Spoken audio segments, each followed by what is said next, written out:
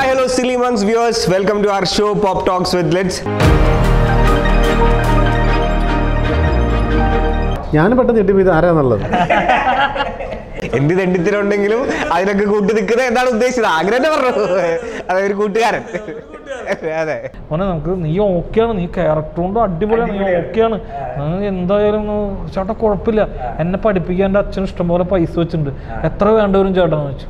ഇല്ല പല പടങ്ങളിൽ ചില വലിയ പടങ്ങളിൽ ഭാഗമാകേണ്ടിയിരുന്ന പടങ്ങൾ മിസ്സായി പോയപ്പോൾ ഭയങ്കര സങ്കടം വന്നു. എന്താ? ഇപ്പൊ കളിയൊക്കെ ഉണ്ട് എന്താ കുഴപ്പം നമുക്ക്? നമ്മൾ ആ സ്പിരിറ്റിൽ എടുത്തു കഴിഞ്ഞാൽ തീരുന്ന പ്രശ്നമുള്ളൂ. നമ്മളത് ഭയങ്കരമായിട്ട് ഫീൽ ചെയ്തിട്ട് അവൻ എന്നെ കളിയാക്കി. എന്നെ അത്ര പേര്? എടാ തടിയാ. അത് എന്ത് തടിയടാ നിനക്ക്? ലാൽ ജോസ് എന്ന പുതിയ ചിത്രത്തിന്റെ വിശേഷങ്ങൾ ഷെയർ ചെയ്യാൻ എന്റെ കൂടെ ജോയിൻ ചെയ്യുന്നു Jenson Alappad and Bhagat. Hi welcome to the show thank you Jenson എന്ന് പറയുമ്പോൾ ഞാൻ എന്റെ അടുത്ത് പറയണം നീ വെയിറ്റ് ആയിട്ട് പറയണം. ജെൻസൺ ആലപ്പാട്ട് ഞാൻ പെട്ടെന്ന് ഞെട്ടിപ്പോയി ഇത് ആരാന്നുള്ളത് അല്ലേ? അല്ലേ? അപ്പൊ ചേർത്ത് പറയണത് എന്റെ അടുത്ത് സ്പെഷ്യലായിട്ട് പറഞ്ഞത് ഏ ഏ അങ്ങനെ പറഞ്ഞിട്ടില്ല അത്. അങ്ങനെ പറഞ്ഞിട്ടില്ല. പേരെന്താ ചോദിച്ചിരുന്നു? നല്ല, നല്ല. കറക്റ്റ് പേര് പറഞ്ഞിരുന്നു എന്നൊക്കെ. അതെ ഇപ്പൊ ഈ മൂവിയുടെ ഈ ട്രെയിലർ സ്റ്റാർട്ട് ചെയ്യുമ്പോൾ തന്നെ ഈ സിനിമ ഇതെന്താ പരിപാടി എന്ന് വെച്ചിട്ടാണ്. ഏഹ് അപ്പോൾ ഈ സിനിമ ഇതെന്താ പരിപാടി? സിനിമ അല്ലേ? അതെ ഇത് സിനിമയ്ക്കുള്ള സിനിമ ഒരു സിനിമയാണ്. ഒരു സിനിമാക്കാരനാവാൻ വേണ്ടിയിട്ട് ഡയറക്ടർ ആവാൻ വേണ്ടിയിട്ട് നടക്കുന്ന കട്ട ലാൽ ജോസ് ഫാനായിട്ടുള്ള ഒരു ഒരു പയ്യന്റെ കഥ പറയുന്ന സിനിമയാണ്. അവനെ അവന്റെ അവന്റെ ലക്ഷ്യത്തിലേക്ക് എത്തിക്കാൻ വേണ്ടി സാമ്പത്തികമായിട്ട് അവനെ സഹായിക്കുന്ന ഗൾഫിലുള്ള കൂട്ടുകാരനാണ് എന്റെ കഥാപാത്രം. പിന്നെ അവിടെ അവന്റെ കൂടെ എന്ത് അടി തന്നെ കറക്റ്റ് എന്ത് തെണ്ടിത്തരമുണ്ടെങ്കിലും അതിനൊക്കെ കൂട്ടി നിൽക്കുന്നത് എന്താണ് ഉദ്ദേശിച്ചത്? ആഗ്രഹം കൂട്ടുകാരൻ. ഒരു കൂട്ടുകാരൻ. അതെ എന്ത് പരിപാടിക്കായാലും ഒപ്പം ഉണ്ടാവും പിന്നെ ഗൾഫിൽ നിന്ന് വരുമ്പോ ഈ കൂട്ടുകാരൻ ഹെൽപ്പ് ചെയ്യുമ്പോ കൂടെ ഒപ്പം ഉണ്ടാവും അതും വേറെ കാര്യം. ഓക്കെ അങ്ങനെ ഇങ്ങനെ ഇങ്ങനെ നമ്മളെ ഈ റിയൽ ലൈഫിൽ ഇങ്ങനെ ഒരു കൂട്ടുകാരന്മാരൊക്കെ ഹെൽപ്പ് ചെയ്തിട്ട് ചെറിയ പണികളൊക്കെ കിട്ടിയിട്ടുണ്ടോ? ആ, ഉണ്ട്. സ്വാഭാവികമായിട്ട് ഉണ്ടാവൂല. നല്ലതുണ്ട് മോശമുണ്ട്. ഓൾറൈറ്റ് അപ്പോൾ അങ്ങനെ ഓർത്തിരിക്കുന്ന ഒരു പണി എന്തെങ്കിലും ഉണ്ടോ? അങ്ങനെ ഓർത്തിരിക്കുന്ന പോലെ ഇല്ല. ഞാൻ കൂടുതൽ കടം മേടിക്കാറുള്ളത്. മേടിക്കാറുള്ളതൊക്കെ. അത് ഏറ്റവും കൂടുതൽ കടം മേടിച്ചിട്ടുണ്ടാവുള്ളൂ. കാരണം സിനിമയുടെ പിന്നാലെ കൊടുക്കുമ്പോൾ ഒരു ഒമ്പത് വർഷമൊക്കെ ജോലി ജോലിയില്ല. ആ ജോലി ഇല്ല സിനിമയല്ലേ ഏറ്റവും ആ, അത് അതിലേക്ക് എത്താൻ വേണ്ടിയിട്ടുള്ള നമ്മുടെ ഓട്ടത്തിന്റെ ഇടയിൽ ജോലി ഞാൻ ബാങ്ക് സെക്ടറിൽ വർക്ക് ചെയ്തിരുന്നു. അപ്പോൾ അവിടുന്ന് റിസൈൻ ചെയ്തിട്ട് ഒരു എട്ട് ഒമ്പത് വർഷം എടുത്തിട്ടുണ്ട് ഇതിലേക്ക് എത്താൻ അപ്പോൾ ആ സമയത്ത് പത്ത് വയസ്സ് വരുവാറില്ലല്ലോ അപ്പൊ നീ പറഞ്ഞ പോലെ കൂട്ടുകാരന്മാരോടൊക്കെയാണ് ചോദിക്കണം ഒരു ആയിരം ഉണ്ടാവും ഒരു ഇരുന്നൂറ് അഞ്ഞൂറ് അല്ല ഇപ്പോഴും എന്റെ ഏറ്റവും അടുത്തൊരു സുഹൃത്തുണ്ട്. അവന് ഇപ്പോഴും ഞാൻ കാശ് കൊടുക്കാറുണ്ട്. പക്ഷെ അവൻ ഞാൻ ചോദിച്ചപ്പോൾ അവൻ പറഞ്ഞിട്ടുള്ള അവൻ ഓൾറെഡി അറിയപ്പെടുന്ന ഒരു സെലിബ്രിറ്റിയാണ് അവൻ. ഓൾറെഡി ആ അതൊരു ഒരു- ഒരു ഒരു ഫുട്ബോൾ പ്ലെയറാണ് അപ്പോൾ അവൻ ഇപ്പോഴും ഞാൻ പൈസ കൊടുക്കാണ്ട് അപ്പോൾ അവൻ ചോദിക്കും ഞാൻ പറയാം ആ പൈസ നിന്റെ അടുത്ത് ഞാൻ ചോദിച്ചില്ല. എനിക്ക് ഇല്ലാണ്ടാവുമ്പോൾ ഞാൻ നിന്റെ അടുത്ത് ചോദിക്കാം. അപ്പോൾ നീ തന്നായി അങ്ങനെയുണ്ട് സുഹൃത്തുക്കൾ നല്ലവരുണ്ട് എല്ലാവരും ഉണ്ട്. അപ്പൊ ഇത് സിനിമയിലെ സിനിമയാന്ന് പറഞ്ഞു. അപ്പോൾ നിങ്ങളുടെ സിനിമ എങ്ങനെയാണ്? ഇതിപ്പോ ഭഗത്തേട്ടന്റെ സിനിമ എന്ന് പറഞ്ഞാൽ അതൊരു ഭയങ്കര പാഷനാണ് അല്ലേ? മലയാള സിനിമ എന്താ പറയുക പല ക്യാരക്ടേഴ്സും നമ്മൾ വളരെ ഓർത്തിരിക്കുന്ന പല ക്യാരക്ടേഴ്സും ചെയ്ത ഒരു വ്യക്തി കൂടെയാണ്. അപ്പോൾ സിനിമ എന്ന് ചോദിക്കുമ്പോൾ എന്താണ് ഫസ്റ്റ് ഓർമ്മ വരുന്നത്? എന്താണ് മനസ്സിലേക്ക് വരിക? സിനിമ സിനിമ എന്ന് പറയാൻ പെട്ടെന്ന് എനിക്ക് മലർവാടി എന്നെനിക്ക് തോന്നുന്നു കാരണം നമുക്ക് എപ്പോഴും നമ്മൾ ആദ്യമായിട്ട് അഭിനയിച്ച സിനിമ അതിനൊരു പ്രത്യേക സ്നേഹം ഉണ്ടാവും പിന്നെ ആ അന്ന് കിട്ടിയ കൂട്ടുകാരാണ് എനിക്ക് ഇന്നും എനിക്കുള്ളത്. ഇന്ന് തന്നെ ഇത്രയും നാൾ പിടിച്ചു നിർത്തിയതും അതേ കൂട്ടുകാർ തന്നെയാണ്. അപ്പോൾ അതുകൊണ്ട് എനിക്ക് ആ സിനിമ ഈ പറയും എന്താണ് സിനിമ എന്ന് പറയുക പെട്ടെന്ന് മലർവാടി എന്നാണ് എനിക്ക് ഓർമ്മ. ഓർമ്മ വരുന്നത് ഓക്കെ ഇതിന്റെ ഒരു ടൈറ്റിൽ ടൈറ്റിൽ ഭയങ്കര ഫാസിനേറ്റിംഗ് ആണ് ലാൽ ജോസ്. അതൊരു ഒരു ഡയറക്ടർ അതായത് മലയാള സിനിമ കണ്ട തന്നെ ഏറ്റവും വെച്ച് ഒരു വലിയ ഡയറക്ടറുടെ പേരിലാണ് ഏറ്റവും വലിയ ആഗ്രഹമല്ലേ Priyan sir Lalju sir Kamal sir ഇവരെ വാസു സാറ് ഇവരൊക്കെ പടങ്ങളിലൊന്നും ഒന്ന് തല കാണിക്കുക എന്തൊരു ക്യാരക്ടർ ചെയ്യുക എന്നൊക്കെ പറഞ്ഞു കഴിഞ്ഞാൽ ഒരു വലിയൊരു കാര്യമല്ലേ അങ്ങനെ അതിന് ആ ഒരു അവസരം കിട്ടാതിരുന്ന സമയത്ത് നമുക്കിത് അദ്ദേഹത്തിന്റെ പേരിലുള്ളൊരു പടത്തിൽ അഭിനയിക്കാൻ പറ്റും. അപ്പോൾ ഈ ഫസ്റ്റ് വിളിച്ചപ്പോൾ തോന്നി അതായത് ലാൽ ജോസ് ഇത് കൊള്ളാലോ ലാൽ എന്നെ ജോസ്." വിളിക്കുമ്പോൾ പറഞ്ഞത് ലാൽ സാർ രാജു സാറ് ഈ പടത്തിൽ അഭിനയിക്കുന്നുണ്ട് ഗസ്റ്റ് അപ്പിയറൻസ് ഉണ്ടാവുന്നൊക്കെ എന്റെ അടുത്ത് പറഞ്ഞിട്ടുണ്ടായിരുന്നു. പിന്നീട് എന്തോ കാരണങ്ങൾ കൊണ്ടൊക്കെ അത് മാറിപ്പോയിരുന്നു അല്ല ഇങ്ങനെ ഒരു ടീം ഒരു യങ് ടീമാണ് ഷാരിഖാണ് ആണ് ഇതിലെ ഹീറോ എന്നൊക്കെ പറഞ്ഞപ്പോൾ നമുക്ക് ഇത് എങ്ങനെയാണ് പടം പിന്നെ പുതിയ ഐ മീൻ ഡയറക്ടർ ആണെങ്കിൽ മൊത്തത്തിലൊരു പുതിയ പുതിയ ഫ്രഷ് ടീമാണ് അപ്പോൾ ഇതിലേക്ക് എന്താ ഇതിൽ ഇങ്ങനെ ഒരു പടം എന്ന് പറഞ്ഞപ്പോൾ എന്തായിരുന്നു? ഫസ്റ്റ് ഒരു ആങ്സൈറ്റി ആയിരുന്നോ? എന്താണ്? അതും എനിക്ക് തോന്നുന്നത് കൊറോണയുടെ അതിന് മുന്നേ ഷൂട്ട് ചെയ്തത്. കൊറോണയ്ക്ക് മുന്നേ ഷൂട്ട് ചെയ്തത്. ഷൂട്ട് ചെയ്ത ആ ഹാ ഹാ അപ്പോൾ ഈ ഒരു ഇങ്ങനെ ഹോൾഡ് ചെയ്തിരിക്കുകയാണ്. അപ്പോൾ എന്തൊക്കെയായിരുന്നു ഇതിലൊരു കുറേ ഇങ്ങനെ പുതിയ ആൾക്കാരുടെ കൂടെ തന്നെ ഞാനും പുതിയ ആൾ തന്നെയാണ് ഞാനും പുതിയ ആൾക്കാരോട് പണി പണി പണി പഠിച്ച് പഠിച്ച് പഠിച്ച് വരുന്നുകൊണ്ടിരിക്കുന്ന ആളാണ് രസമാണ് ഇവരുടെ ഗ്യാങ്ങിൽ പോയി വർക്ക് ചെയ്യാന്ന് പറഞ്ഞാൽ വേറൊരു വൈബാണ് പിന്നെ എനിക്ക് ഈ റീൽസും സാധനങ്ങളൊന്നും എനിക്ക് വലിയ കാര്യമായിട്ട് അറിയില്ലാത്ത ഒരാളായിരുന്നു ആ സമയത്ത്. ഓക്കെ ഓക്കെ എനിക്ക് എന്താണ് ഈ റീൽസും എനിക്ക് ടിക്ടോക്ക് പരിപാടി എന്തൊക്കെയാണെന്നുള്ളത് പറഞ്ഞു തന്ന ഇവനാ. എന്ന് പറഞ്ഞാൽ ഇവനല്ല. നമ്മുടെ ഷാരിഖ്. കാരണം അവൻ അതിനകത്ത് എന്താ പറയുക സൂപ്പർ സ്റ്റാർ സ്റ്റാറാണ് അതായത് ടിക്ടോക്കിൽ സൂപ്പർ സ്റ്റാർ അതിനേക്കാളും കൂടുതൽ ടിക്ടോക്കിൽ തന്നെ ഷോർട്ട് വീഡിയോകൾ ചെയ്തിട്ട് ഓൺ ഓൺ വോയിസിൽ വീഡിയോസുകൾ ചെയ്തിട്ട് ആ അതെനിക്ക് ഏറ്റവും നന്നായി തോന്നി. എനിക്ക് അതുകൊണ്ടാണ് അവന് ഇത്രയും ഭയങ്കര ഇഷ്ടം തോന്നിയിട്ടുള്ളത്. കാരണം ഓൺ വോയിസിൽ ഷോർട്ട് വീഡിയോസുകൾ ചെയ്തിട്ട് നമ്മളൊരു ആക്ടിങ് ടാലന്റ് എന്താണെന്ന് കാണിക്കാൻ പറ്റുന്ന രീതിയിലുള്ള വീഡിയോസുകളാണ് അവർ ചെയ്തിരുന്നത്. അത് ഭയങ്കര പ്ലസ് പോയിന്റ് ആയിരുന്നു അപ്പോൾ ജെൻസിന്റെ നാട് എവിടെയാ? എന്റെ നാട് തൃശ്ശൂർ അവണൂർ എന്ന് പറഞ്ഞൊരു കൊച്ചു സ്ഥലത്താണ്. ഇപ്പോൾ ഈ കൊച്ചു സ്ഥലത്ത് നിന്ന് ഈ വലിയ സിനിമ എന്നുള്ള സ്വപ്നം എന്നൊക്കെ പറഞ്ഞപ്പോഴേ ആൾക്കാർ പറഞ്ഞു നിനക്ക് വേറെ പണിയൊന്നുമില്ല വേറെ പണിക്കുന്നേയും പോയിക്കൂടെ? എന്ന് ചോദിച്ചു. അത് ഒരു ഒരു പരിധി വരെ പറഞ്ഞില്ല. അതായത് വേറെ ഒന്നല്ല ഞാൻ എന്റെ സ്ഥലം എന്ന് പറയുന്നത് നാടകത്തിന്റെ ഒരു സ്ഥലമാണ്. ചെറുപ്പം തൊട്ടേ നാടകങ്ങളിൽ അമച്ചറും പ്രൊഫഷണലും ഒക്കെ ഞാൻ ചെയ്തിട്ടുണ്ട്. ഒരു എനിക്കൊരു എട്ട് വയസ്സുള്ളപ്പോട്ടേ ഞാൻ ചെയ്തിട്ട് വന്നിട്ടുള്ളതാണ്. അപ്പോൾ നമ്മൾ ആദ്യമൊന്നും സിനിമയുടെ പിന്നാലെ നടക്കുമ്പോൾ വലിയ കാര്യമായിട്ടൊന്നും പറയില്ല. കാരണം നമ്മളറിയാം നമ്മൾ അഭിനയിക്കുക അഭിനയിക്കില്ല എന്നൊക്കെ അറിയാം പക്ഷേ അത് വർഷങ്ങൾ കഴിഞ്ഞ് പോകും തോറും നിനക്ക് പ്രാന്താല്ലേ? നിനക്ക് പ്രാന്താല്ലേ? നിർത്തിയിട്ട് വല്ല പണിക്കൊക്കെ പൊക്കോറ. ഇതൊക്കെ നിനക്കൊക്കെ പറഞ്ഞിട്ടുള്ള കാര്യമാണോ? സിനിമ ഒരു ആ ഒരു കണ്ടിട്ടില്ലേ നമ്മുടെ നാട്ടിൽ നിന്ന് ഒരു സിനിമാകാരനെയൊന്നും അപ്പോൾ പിന്നെ എങ്ങനെ നമ്മൾ ആ മേഖലയിലേക്ക് എങ്ങനെ എത്തിപ്പെടും എന്നുള്ള ഇപ്പോൾ അറ്റ്ലീസ്റ്റ് ഇപ്പോൾ ഒരു ഇപ്പോൾ ഒരു ഗവൺമെന്റ് ഇപ്പോൾ ജോബ് അന്വേഷിച്ചുകൊണ്ടിരിക്കുന്ന പി എസ് സി പഠിച്ചുകൊണ്ടിരിക്കുന്ന ഒരു വ്യക്തിയാണെങ്കിൽ നമ്മളവിടെ കുറേ പേര് ഗവൺമെന്റ് ജോബിലുണ്ട് ആ അപ്പോൾ ആൾക്ക് പി എസ് സി എഴുതി ജോബ് കിട്ടിയിട്ടുണ്ട്. നീ ട്രൈ ചെയ്ത് നിനക്ക് കിട്ടും. അങ്ങനെ പറയുള്ളൂ. പക്ഷെ ഞാൻ നീ ട്രൈ ചെയ്യണം നിനക്ക് സിനിമ കിട്ടും. കാരണം വേറെ സിനിമാകാരൻ അവിടെ ഉണ്ടെന്ന് പറയാൻ ആരും ഇല്ല. അപ്പോൾ നമ്മൾ എന്ത് ചെയ്യും? അപ്പോൾ പിന്നെ അവർ പറഞ്ഞു തുടങ്ങി നിനക്ക് ഭ്രാന്താണ്. ഈ പരിപാടി നിർത്തി. ജോലിക്ക് പോട്ടെ പോരാ നീ പെട്ടു കൂട്ടാ അങ്ങനെയൊക്കെ പറഞ്ഞിട്ടുണ്ട് ഒരുപാട് പേര്. കളിയാക്കലുകൾ ഇതൊക്കെ എങ്ങനെ ഫേസ് ചെയ്തിട്ടുണ്ട്? കളിയാക്കൽ നമുക്ക് കുഴപ്പമില്ല. കാരണം എന്താണെന്ന് വെച്ച് കഴിഞ്ഞാൽ ഞാൻ പറഞ്ഞില്ല നമ്മുടെ നാട്ടിൽ ഒരു പാ നമ്മുടെ നാട്ടിലെല്ലാവരും വർത്തമാനം പറഞ്ഞിരിക്കുന്ന സ്ഥലങ്ങളൊക്കെ ഉണ്ട്. അവിടെ പോയി നമ്മൾ കളിയാക്കലുകൾ തന്നെയാണ്. അപ്പം അത് നമ്മൾ എല്ലായിടത്തുനിന്നും നിന്നും ചെയ്തിട്ട് നമുക്കൊരു വിഷയമല്ല അത്. കളിയാക്കൽ നമുക്കൊരു ഇപ്പൊ കളിയൊക്കെ എന്താ കുഴപ്പം നമുക്ക്? നമ്മൾ ആ സ്പിരിറ്റിൽ എടുത്തു കഴിഞ്ഞാൽ തീരുന്ന പ്രശ്നമുള്ളൂ. നമ്മളത് ഭയങ്കരമായിട്ട് ഫീൽ ചെയ്തിട്ട് അവൻ എന്നെ കളിയാക്കി. എന്നെ എത്ര പേര് ഇവിടെ തടിയാ? അത് എന്ത് തടിയോടാ നിനക്ക്?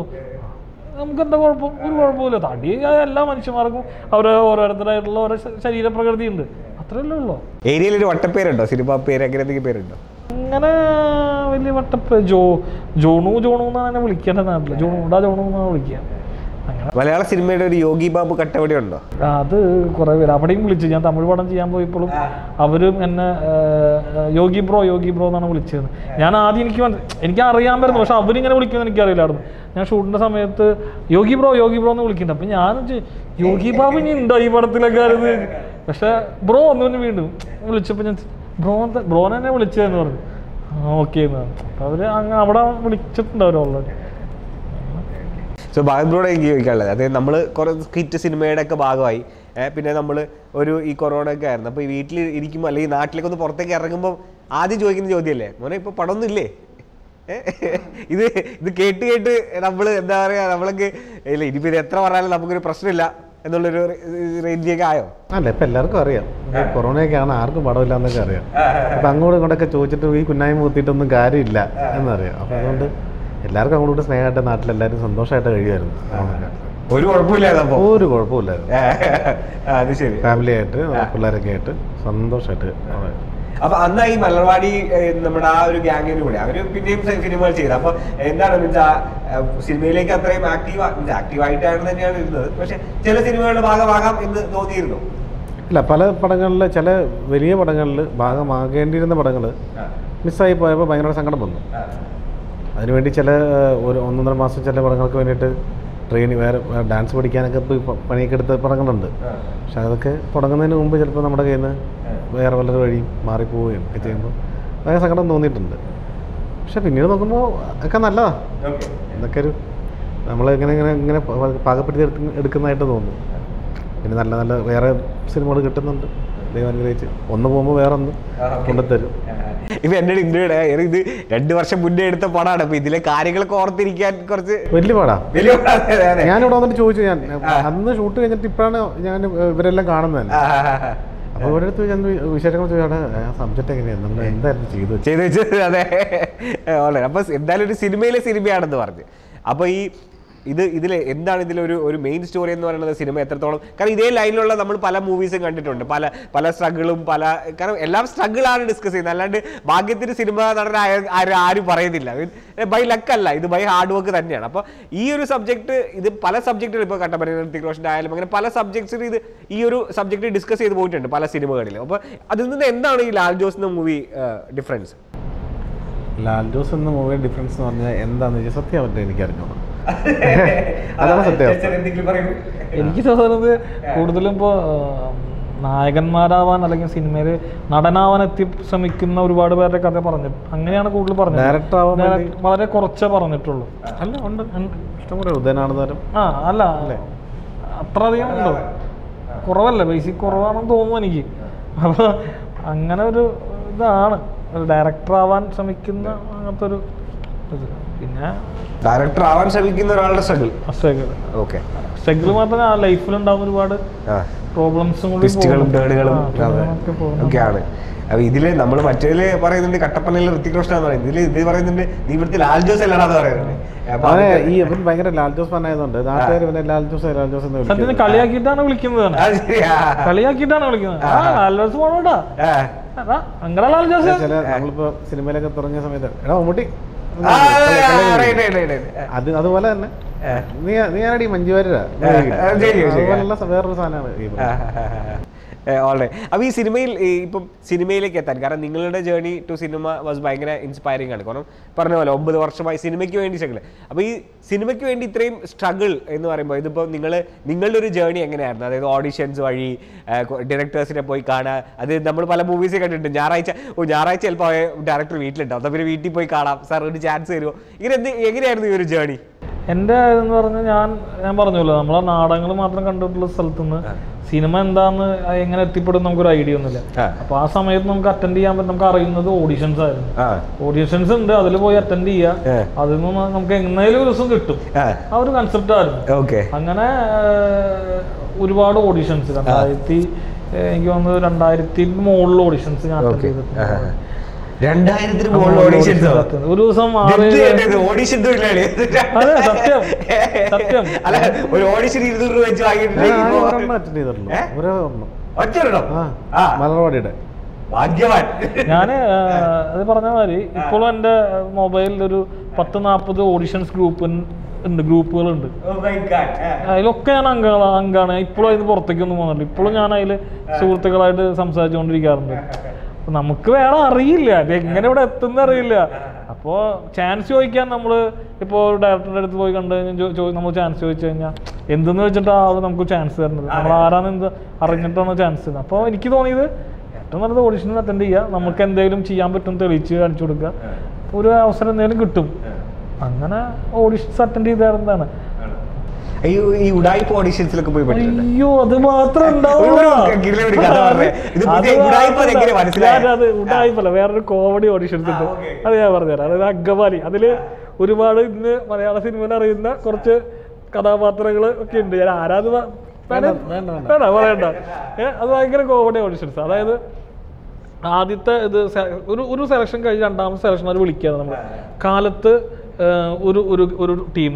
ഉച്ചയ്ക്ക് ശേഷം ഒരു ടീം. അപ്പോൾ കാലത്ത് വരുന്നത് പത്ത് പതിനഞ്ച് പേരിനെ വിളിക്കും. ഉച്ചയ്ക്ക് ശേഷം പതിനഞ്ച് പേരിനെ വിളിക്കും. അപ്പോൾ അത് അങ്കമാലിയിൽ ഒരു വലിയൊരു ഹോട്ടലിൽ വെച്ചിട്ടാണ് ഓഡിഷൻ നടക്കുന്നത്. അപ്പോൾ കാലത്ത് പോയ ആൾക്കാർ ഓഡിഷൻ അറ്റൻഡ് ചെയ്തു. കഴിഞ്ഞ് പുറത്തേക്ക് വരുമ്പോൾ ഞങ്ങളുടെ അടുത്ത് പറഞ്ഞു മക്കളെ ഫുഡുണ്ട് പെടച്ചോ എന്ന് പറഞ്ഞു. ഫുഡുണ്ട് പെടച്ചോ. അപ്പോൾ ഇവർ ഓൾറെഡി നല്ല ഫുഡ് ആ ഹോട്ടലിലത്തെ ഏറ്റവും നല്ല ഫുഡ് നമുക്ക് തരുന്നുണ്ട്. ഓഡിഷൻ അറ്റൻഡ് ചെയ്യുക ഭക്ഷണം കഴിച്ചിട്ട് വേണ്ട ഞങ്ങൾ പോണെങ്കിൽ ഭക്ഷണം കഴിച്ചോളോട്ടാന്ന് പറഞ്ഞു. അപ്പോൾ അവർ ഭക്ഷണം കഴിച്ച് ഞങ്ങൾ അവർ നമ്മൾ അറിയുന്ന പിള്ളേരാണ് അപ്പുറത്ത് നമ്മൾ കയറുമ്പോൾ ഞങ്ങളുടെ അടുത്ത് നിങ്ങൾ ഭക്ഷണം കഴിച്ചിട്ടില്ല ഭക്ഷണം കഴിക്കൂ. നമ്മൾ പോയിട്ട് വയറ് നിറച്ച് ഫുഡ് അടിച്ചു. കാരണം എന്തായാലും വണ്ടിക്കൂലി കിട്ടാൻ ഓഡിഷൻ തരുന്നത് ഗംഭീര ഫുഡ് അടി. അത് കഴിഞ്ഞിട്ട് ഓഡിഷൻ അറ്റൻഡ് ചെയ്തു. നമ്മൾ തിരിച്ച് പോന്നു. പിറ്റേ ദിവസം നമ്മൾ വിളിച്ചു.